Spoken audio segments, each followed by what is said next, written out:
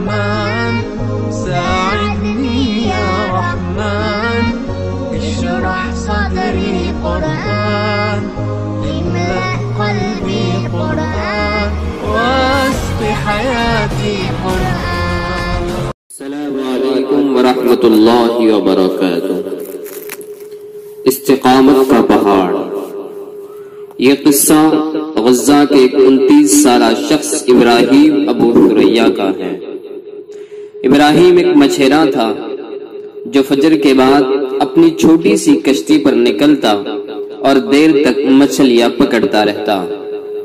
ماہی گیری سے وہ اپنے گھر کے گیارہ افراد کا رزق کما لیتا تھا۔ ابراہیم نے فلسطین پر اسرائیل کے قبضے کو ایک دن کے لیے بھی تسلیم نہیں کیا۔ وہ بہت فخر سے اپنی کشتی پر فلسطین کا پرچم لہراتا اور سمندر میں اسرائیلی بحریے کی کشتیوں کو دیکھ کر فلسطین ہمارا ہے کہ نعرے بلند کرنے لگتا۔ ماہی گیری سے فارغ ہو کر وہ حماس کے رفاہی اسپتال میں کام کرتا تھا۔ ستائیس دسمبر دو ہزار آٹھ کو اسرائیلی فضائیہ نے غزہ پر بھرپور بمباری کا آغاز کیا اور بارود کی یہ بارش لگاتار بائیس دن یعنی کہ اٹھارہ جنوری دو ہزار نو تک جاری رہی۔ اس دوران پناہ گزینوں کے ایک کیمپ پر بمباری سے ابراہیم شدید زخمی ہو گیا۔ اس کے دونوں پیر کاٹ دیے گئے۔ ایک گردہ ناکارہ ہو گیا اور اس کی ایک آنکھ بھی پھوٹ گئی۔ یہ آزمائش تھی تو کمر توڑ اور آساب شکن۔ لیکن اسپتال سے فارغ ہوتے ہی ابراہیم اپنے رب کا شکریہ ادا کرتا تلاش رزق میں نکل کھڑا ہوا۔ مادوری کی وجہ سے ماہی گیری تو ممکن نہ تھی چنانچہ اس نے گاڑیاں دھو کر اپنا اور اہل خانہ کا پیٹ پالنا شروع کر دیا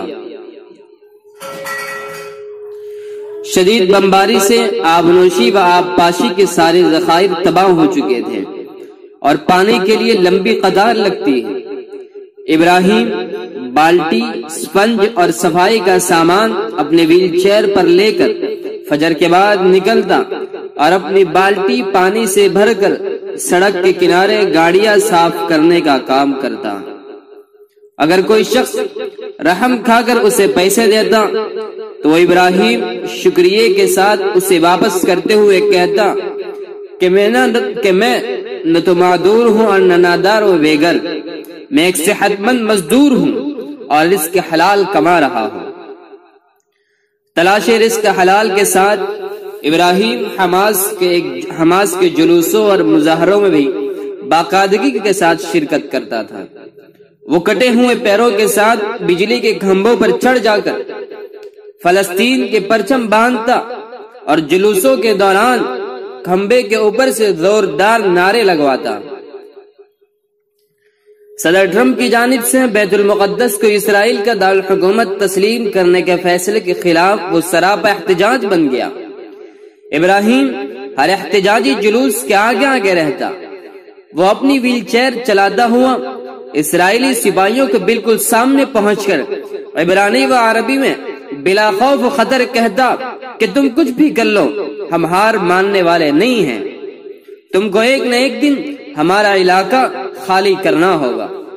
جمعہ کی نماز کے بعد غزہ میں زبردست مظاہرہ ہوا، جس میں ابراہیم سب سے آگے تھا۔ وہ نعرے بازی کے ساتھ اپنے ساتھیوں کا حوصلہ بڑھا رہا تھا کہ اسرائیلی فوج نے اسے تاک کر نشانہ بنایا اور ایک گولی اس کے سر کو پاش پاش کر گئی۔ لیکن اس کے سر سے آزادی کا سودا ختم نہیں ہوا۔ وہ دم توڑتے ہوئے بھی کلمے کے ساتھ القدس لنا القدس لنا یعنی القدس ہمارا ہے، القدس ہمارا ہے کہ ورد کرتا رہا۔ یہ خبر ہم نے مغربی میڈیا سے لی ہے۔ Reuters, C N N, A B C C B S, حتیٰ کہ انتہائی متعصب فخص پر بھی الفاظ کے معمولی فرق سے یہ خبر ایسے ہی بیان ہوئی جیسے ہم نے نقل کی ہے۔ لیکن اب تک نہ تو اقوام متحدہ نے اور نہ ہی انسانی حقوق کے کسی ادارے نے اس کا نوٹس لیا ہے کہ ایک معدور شخص کو نشانہ لے کر اس کے سر پر گولی مارنا کہاں کا انصاف؟